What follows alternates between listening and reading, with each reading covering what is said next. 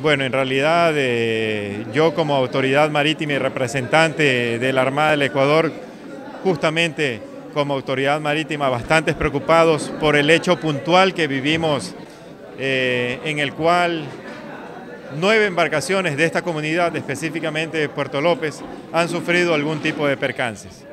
A nosotros preocupados, primero preocupados con interrogantes, primero porque solo tres embarcaciones se han acercado a presentar la documentación, a poner la denuncia en firme, y por el otro lado es la interrogante, ¿por qué las otras no? ¿Será que sí sufrieron el percance? ¿Será que no lo han sufrido? Ojalá que no en realidad.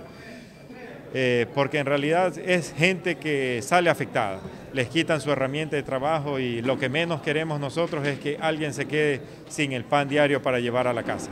Familias que subsistían ahora verán cómo se las arreglan. Esperemos que no sigan suscitando estos temas y sabemos que se van a adoptar algunas acciones con inteligencia, con estrategia, capitán.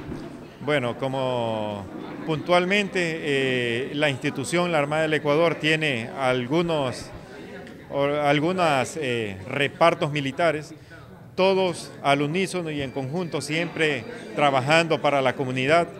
Es así como eh, la autoridad marítima representada por la Capitanía del Puerto, el grupo de inteligencias, eh, vamos a solicitar que personal de infantes de Marina, el subcomando de, guardacostas, todos todos trabajemos al unísono para brindar la seguridad, para que la gente de mar salga por un pan diario y pueda regresar seguro con ese pan diario. Quedó claro la coordinación que se establece con los distintos puertos, porque el mar, usted ya lo dijo, es muy amplio incluso. Bueno, como les comenté, sí, eh, en realidad la extensión es el área de responsabilidad de la Armada de cinco veces a uno eh, eh, la responsabilidad sobre el área terrestre.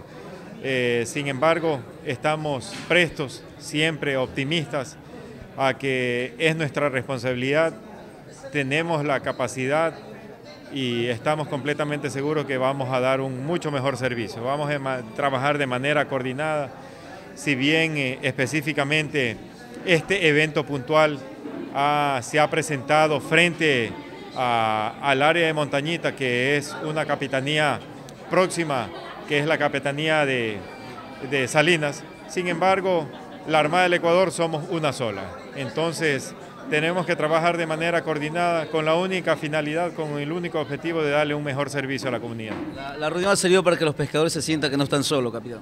Así es, para que se sientan que no están solos, pero también, sobre todo, para que se concienticen ellos que también son parte de la problemática y que ellos también tienen que aportar su granito de arena su granito de arena andando con toda la documentación en regla, tanto de la embarcación como eh, de la gente que está embarcada, eh, llevando el equipamiento mínimo necesario para, eh, en el caso de un percance, y sabiendo que tienen que cumplir con todo lo que tiene, con todo lo que está reglamentado y regulado.